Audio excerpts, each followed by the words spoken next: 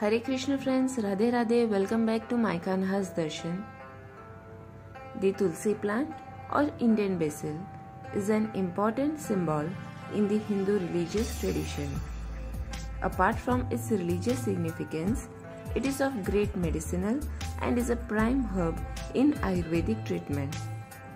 As we all know that Tulsi leaves are being used for various pujas and are also offered to god and goddesses but many of us are not aware that tulsi leaves are not offered to Lord Shiva and Lord Ganesha or the reason behind it.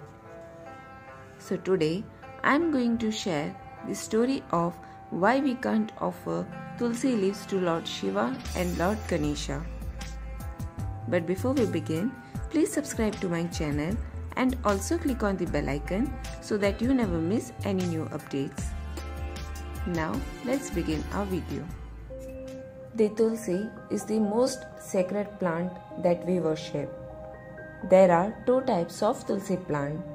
Ram Tulsi having light green leaves generally of bigger size and another one is Krishna Tulsi having dark green leaves which is used for the worship of Lord Vishnu. Without Tulsi leaves, Lord Krishna does not like to accept flowers food, or sandalwood paste. The plant is considered holy and is worshipped regularly. In the Hindu religion, the Tulsi plant is referred to be one of the most sacred plants that have all the medicinal qualities. It is also believed that Tulsi should not be chewed with teeth as Tulsi is the wife of Lord Vishnu. Thus, chewing is considered as a disrespectful act. Thus, one can rather swallow tulsi leaves rather than chewing it. Moreover, one can also use the powdered or juiced form of the tulsi leaves as a herbal medicine. Tulsi should also not be plucked or watered on the days of Ekadashi. The philosophy behind this is that Srimati Tulsi Maharani, the pure devotee of the Lord Vishnu, keeps fasting on the whole Ekadashi and takes rest on Dwadashi. So the devotee in order to not to disturb or hurt her don't pluck leaves. Even on Sundays, the leaves of Tulsi should not be plucked or watered. It should not be plucked even after the sunlight. Tulsi leaves are offered to all gods and goddesses except Lord Ganesha, Lord Shiva and Goddess Durga. According to Shiv Puran, Lord Shiva does not like the offerings of tulsi leaves on the Shivlingam. As per the Puran, there is a story behind this. In ancient time, there existed a demon or asur named Jalandhar. He was a living hell for gods and sages. His atrocities were getting brutal and out of hand every day, and no god had any idea how to deal with the asura. Jalandhar was married to a woman named Vrinda. She was wholeheartedly devoted to her husband and was a truly a virtuous wife. This was the biggest complication that no god was able to kill the demon because of her prayers to Lord Vishnu which kept him safe at all the times and situation. Finally, finding no solution to the problem, the gods decided to ask Lord Shiva for help. Lord Shiva and Lord Vishnu plotted against the demon and his wife, even though Lord Vishnu was heartbroken to cheat on his biggest and ardent devotee. While Lord Shiva and Jalandhar were engrossed in a battle, Lord Vishnu transfigured himself as Jalandhar. Vrinda's virtuousness was broken as soon as she touched Lord Vishnu's feet, thinking he was her husband. However, upon touching him, she immediately knew he wasn't her husband Jalandhar and asked him to show his real form.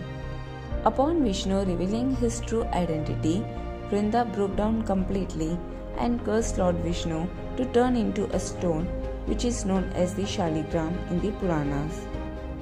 While on the other hand, Jalandhar had become powerless and Lord Shiva then killed him, ending the misery of gods and sages.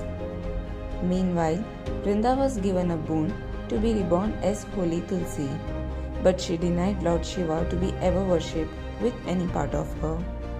It is for this reason that Shivling should never be offered Tulsi, while worshipping Vishnu is incomplete without her.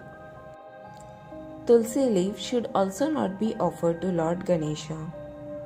Lord Ganesha is worshipped before doing any auspicious work or doing any puja ceremony. It is believed that Lord Ganesh has the power of removing any obstruction. Durva grass and red colored jaswanti flower are favorite of Lord Ganesha. But Tulsi, which is a sacred plant, is never offered to Lord Ganesha. Let us see the story behind this. Tulsi is the daughter of Dharmaraj. In her youthful days, she was a great devotee of Lord Vishnu. Once, she was walking along the bank of river Ganga. She came across beautiful Lord Ganesha sitting in deep meditation. Like Tulsi Ma, Lord Ganesh was also in his prime and of marriageable age.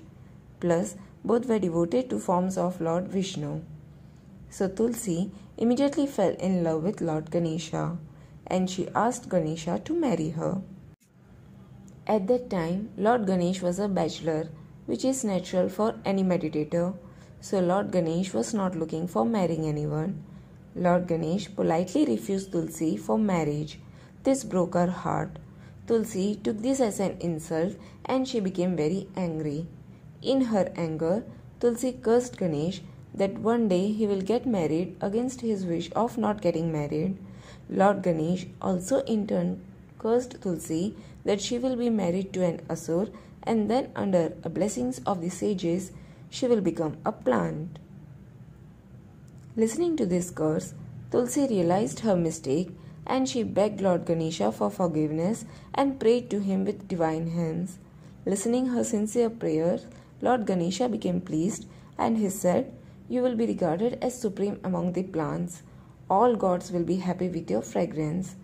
Lord Vishnu will be specially glad to receive the worship with your leaves, but you will always be unacceptable by me in worship. Saying this, Lord Ganesha left the place.